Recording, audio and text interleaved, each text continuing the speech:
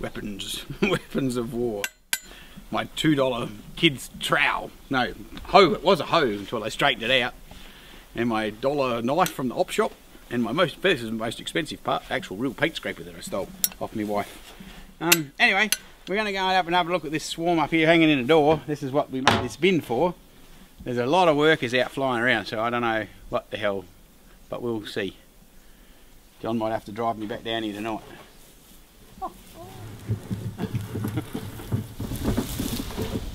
Nice butterfly. Holy shit, look at that one.